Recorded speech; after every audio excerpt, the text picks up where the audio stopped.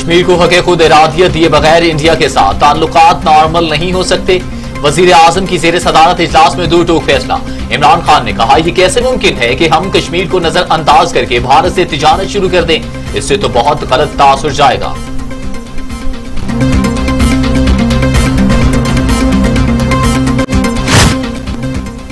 मकबूजा कश्मीर में भारतीय दहशतगर्दी जारी, कई मकाना धमाके से उड़ा दिए गए। तीन नौजवान शहीद मुतद जख्मी। भारतीय फौज ने चादर और चार दीवारी का तकदस पामाल कर दिया। कश्मीरी आवाम सड़कों पर आ गए। डस्का में दोबारा इलेक्शन होगा। एन ए पिछहत्तर डस्का में जिमनी इंतबात का फैसला जारी। सुप्रीम कोर्ट का 10 अप्रैल को हल्के में दोबारा पोलिंग का हुक्म। सुप्रीम कोर्ट ने इलेक्शन कमीशन का फैसला बरकरार रखते हुए पीटीआई के उम्मीदवार अली असजद मलही की दरख्वास्त मुस्तरद कर दी।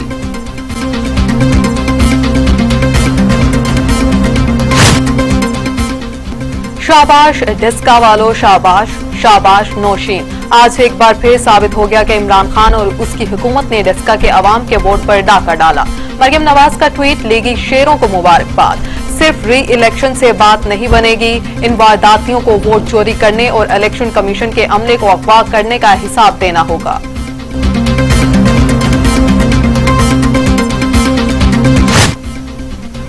सुप्रीम कोर्ट के फैसले से अवाम जीत गए, वोट चोर हार गए। हमजा शहबाज ने कहा इलेक्शन कमीशन के तारीखी फैसले को सुप्रीम कोर्ट ने कायम रखा। फैसले पर अल्लाह ताला का शुक्र अदा करते हैं, वोट की इज़्ज़त हुई।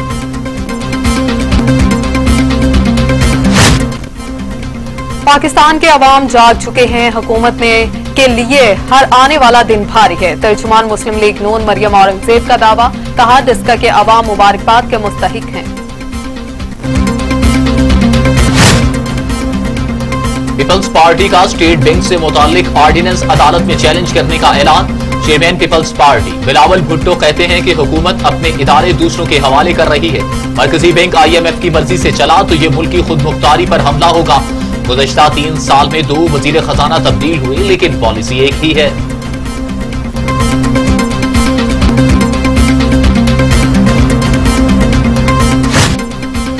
इमरान खान कोई ज़िम्मेदारी लेने को तैयार ही नहीं। कोई मसला होता है तो किसी न किसी को कुर्बानी का बकरा बना, बना लेते हैं। वज़ीर खजाना की तब्दीली पर बिलावल भुट्टो का रद्द अमल। कहा फजल रहमान हमसे नाराज़ नहीं हो सकते।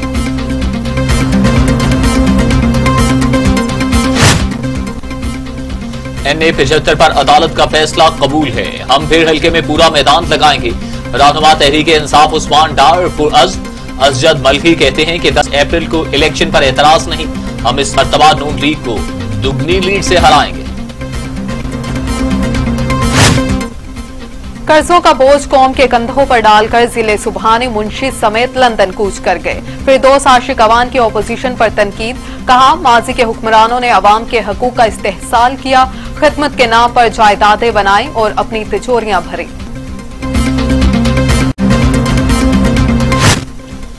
मिफ्ता इस्माइल एन ने दो सौ उनचास के जिमनी इलेक्शन में हिस्सा लेने के लिए अहल करार। सिंध हाईकोर्ट के इलेक्शन ट्रिब्यूनल ने फैसला सुना दिया।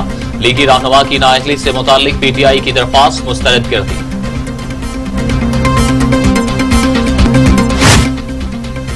एफआईए इन एक्शन चीनी माफिया की यूरोप में अरबों की बेनामी जायदादें तहकीकात में नए इंकशाफात सामने आ गए।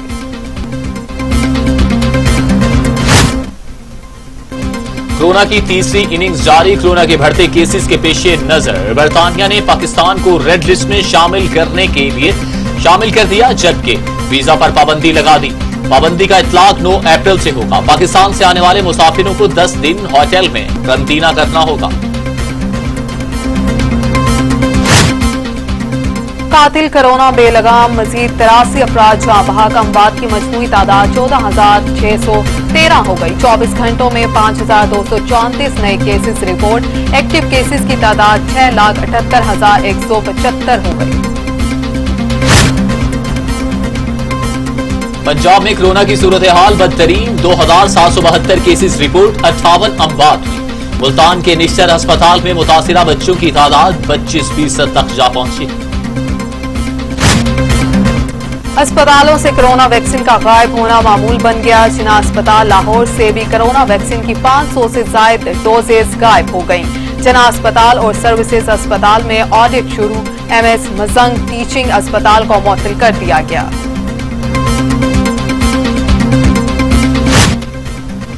लाहौर में traffic police in action mask न पहनने पर तीन रोज में तेईस हज़ार आठ सौ पचहत्तर गाड़ियों और मोटरसाइकिलों के चालान, जबकि पब्लिक ट्रांसपोर्ट में एसओपीज की खिलाफ वर्जी पर बारह मुकदमा दर्ज किए गए।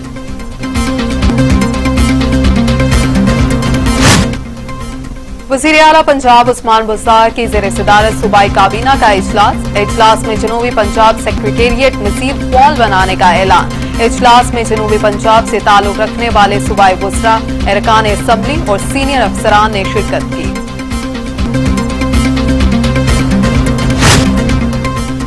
लॉकडाउन नहीं, दो हफ़्ते के लिए बैनुसफाई ट्रांसपोर्ट बंद करना चाहते हैं। तर्जमान वज़ीर आला सिंध मुर्तजा बहाद का ऐलान। कहा सिंध में एक माह के दौरान बरतानिया से आने वालों के कवायद जमा करने का फैसला किया गया है। हम बंदरगाह पर सरगर्मियाँ और गुड्स ट्रांसपोर्ट जारी रखना चाहते हैं।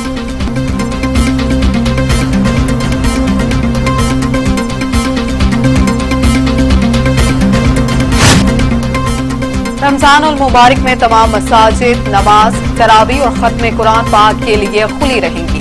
वजारत मजहबी अमूर का इलामिया जारी। इलामिया के मुताबिक गुजशत साल की तरह बीस नुकाती एहतियाती तदाबीर के तहत मसाजिद में इबादत की इजाज़त होगी। रमजानुल मुबारक में बच्चों के मस्जिद नबवी में दाखिले पर पाबंदी आए पंद्रह साल से कम उम्र बच्चों को रमज़ान में मस्जिद नबवी में दाखिले की इजाज़त नहीं होगी।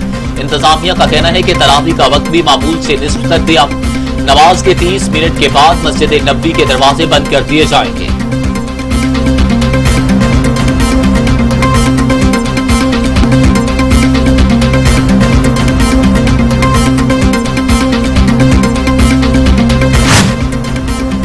दुनिया भर में कोरोना वायरस के ताबड़ तोड़ हमले, मरने वालों की तादाद 28 लाख चालीस हज़ार से तजावज कर गई। जर्मनी में वैक्सीनेशन का अमल तेज कर दिया गया। कैनेडा के सूबे ओनार्टियो में 28 रोज के लिए लॉकडाउन लगा दिया गया।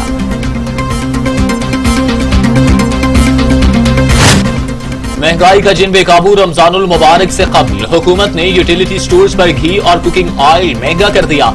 नोटिफिकेशन जारी नोटिफिकेशन के मुताबिक कुकिंग ऑयल की कीमत में छह से नौ रुपए फ़ी लीटर, और घी की फ़ी किलो कीमत में सात रुपए का इजाफा किया गया। कीमतों में इजाफे का इतलाक फौरी तौर पर होगा।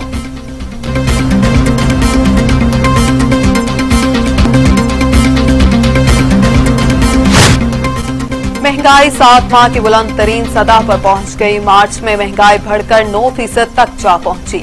फरवरी की निस्बत मार्च में महँगाई में सिफर इशारिया छत्तीस फ़ीसद इजाफा हुआ। जुलाई तक मार्च महँगाई की औसत शरा आठ इशारिया चौंतीस फ़ीसद रही।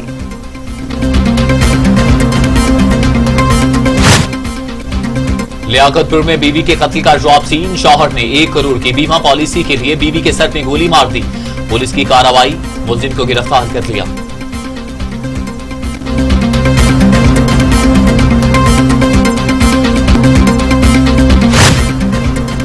हज़रत सखी लाल शहबाज कलंदर के मिसाइल का गेट तोड़ने का केस, पुलिस का 400 नामालूम अफराद के खिलाफ मुकदमा दर्ज। मुकदमा दरगाह के सिक्योरिटी इंचार्ज की मुतलियत में दर्ज किया गया। मुकदमे में सरकार के काम में मुदाखलत समेत कई दफ़ा शामिल की गई।